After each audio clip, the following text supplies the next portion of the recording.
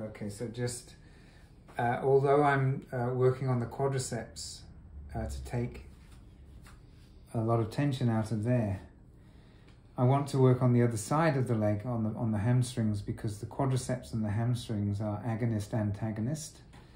So I'm really thinking generally about balancing the leg muscles and in doing that, balancing the, the pelvis. She has a slightly excessive anterior tilt and I need to work the, the front of the leg for that, but in doing that, there's no harm in doing the other the other group of muscles that has the opposite action of um, bringing the pelvis in the other direction because we're looking at getting uh, Rebeca in a position where the muscles around her hips are working in tandem together. So if a pelvis is tilted forward, the quadriceps are doing that, the hamstrings may still be tight, which they are here, but they're what you might call locked long.